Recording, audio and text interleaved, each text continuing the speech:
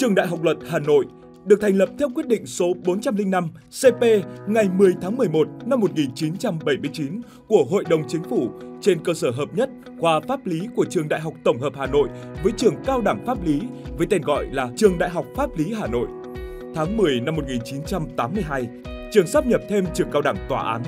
Đến ngày 6 tháng 7 năm 1993, trường được đổi tên thành Trường Đại học Luật Hà Nội và sau đó chuyển trụ sở từ xã Xuyên Thái, huyện Thường Tín, tỉnh Hà Tây cũ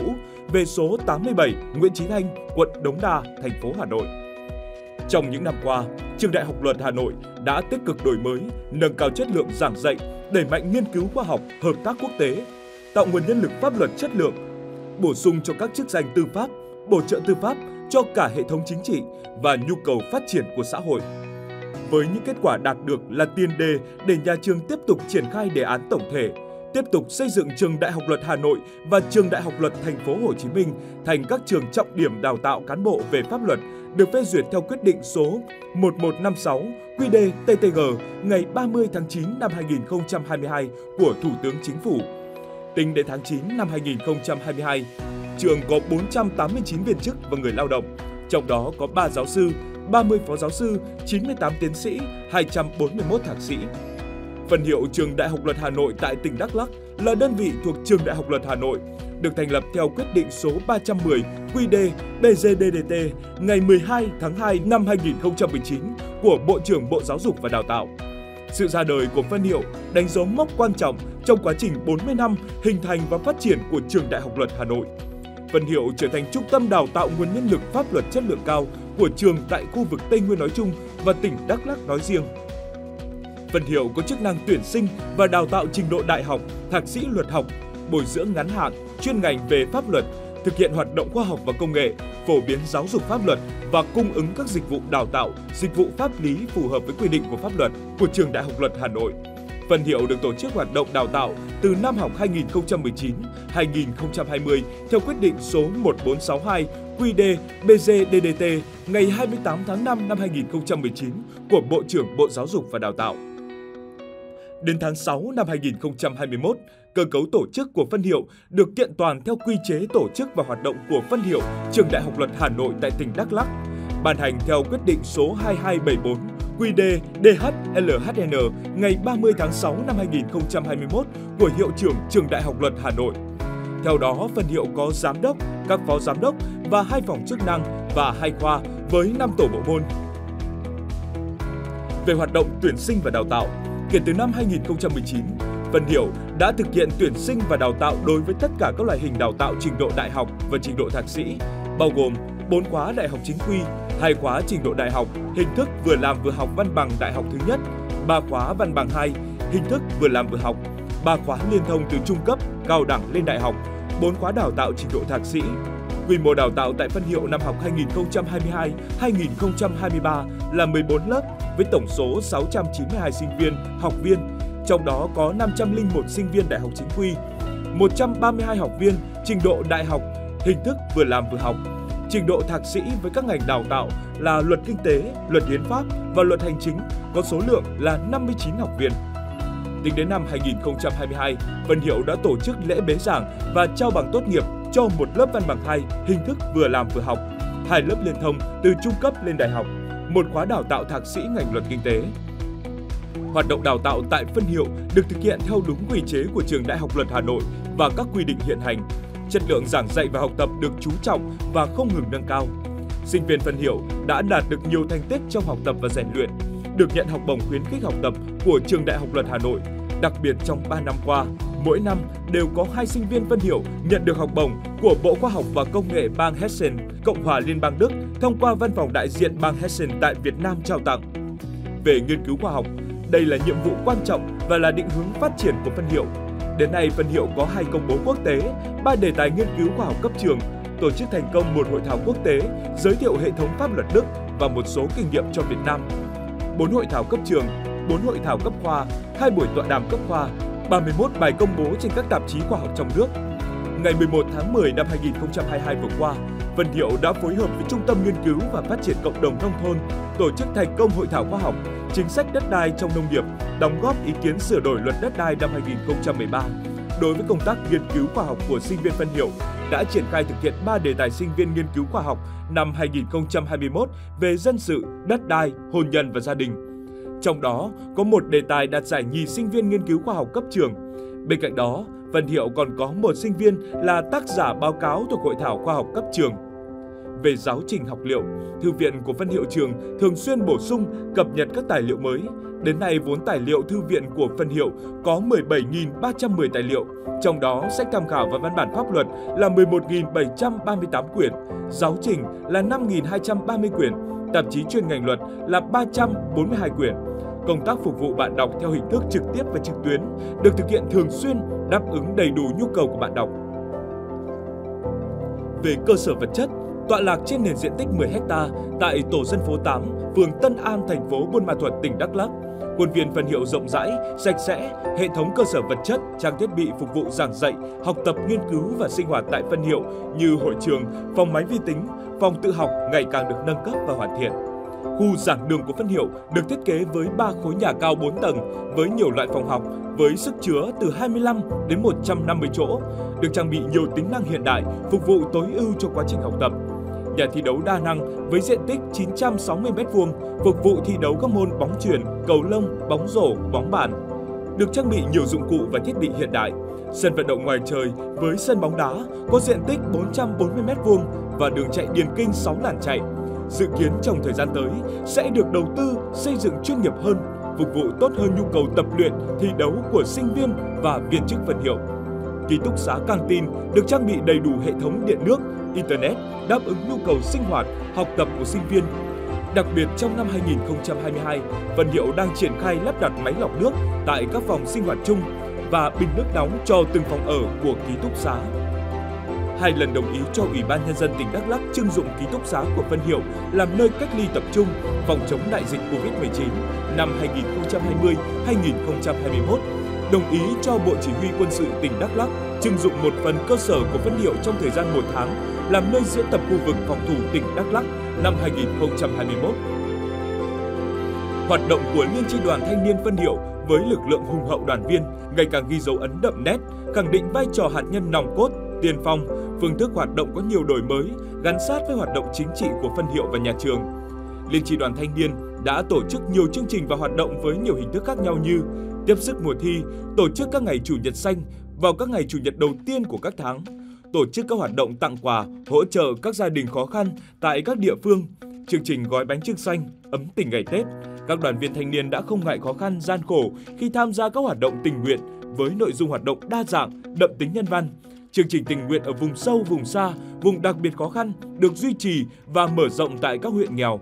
Năm 2022, Liên tri đoàn Thanh niên Vân Hiệu đã tổ chức thành công chương trình tình nguyện hè mang tên Những ngón tay đan, kết hợp tuyên truyền pháp luật tại huyện Buôn Đôn, tỉnh Đắk Lắk.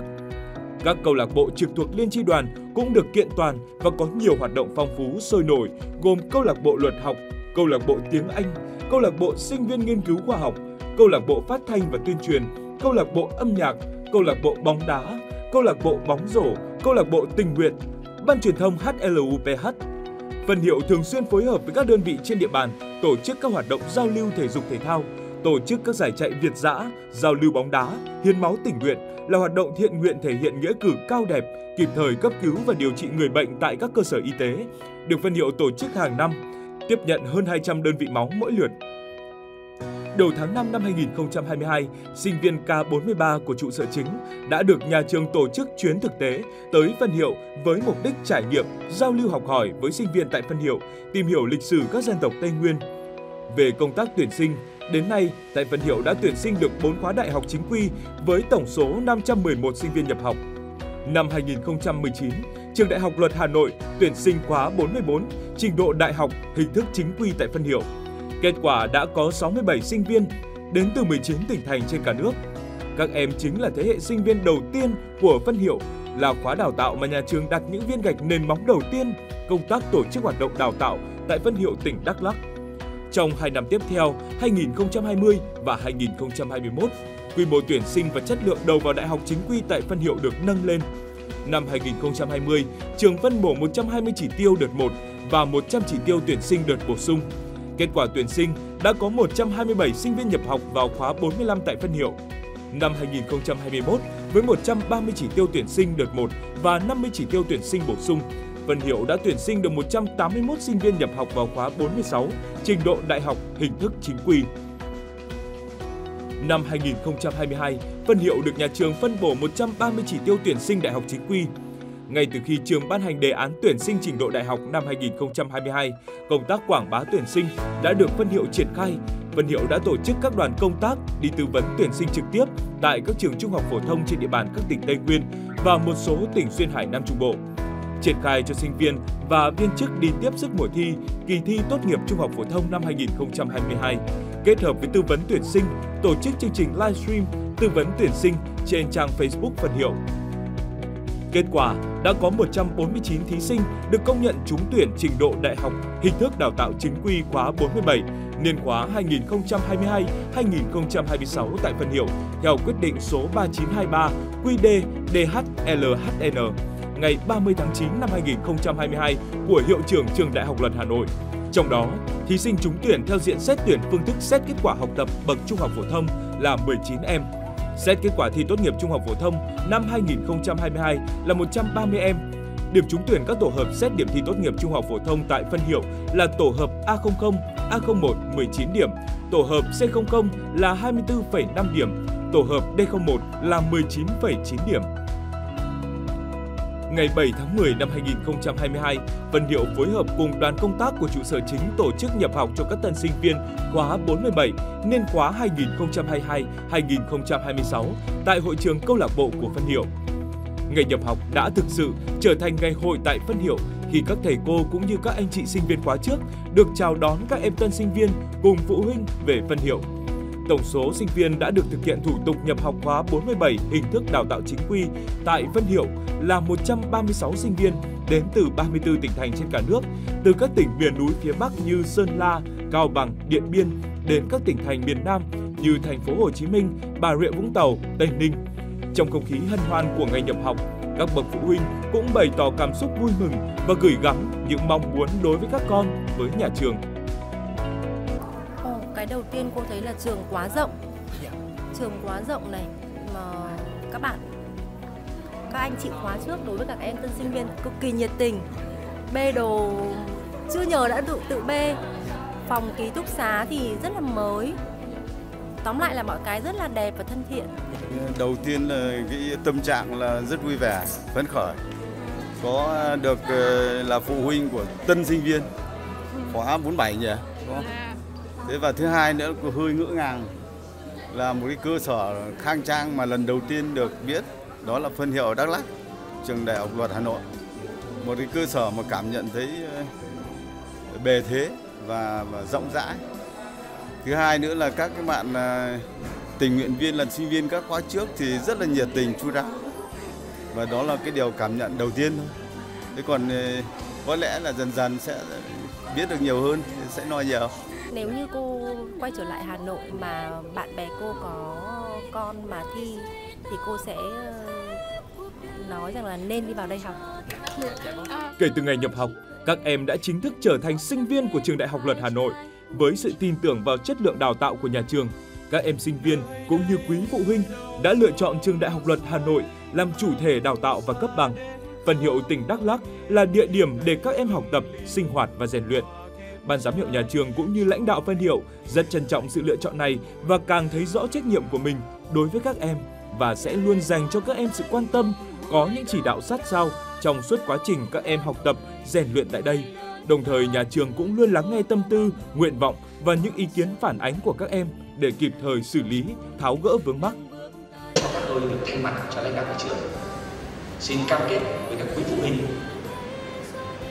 là nhà trường sẽ dành những cái điều kiện thuận lợi nhất để các em sinh viên học tại phân hiệu hoàn thành xuất sắc nhiệm vụ của mình. Chúng tôi sẽ bảo đảm các cái điều kiện thuận lợi nhất để các em sinh viên có thể phát huy được hết năng lực và sở trường của mình. Và sẽ cam kết cùng với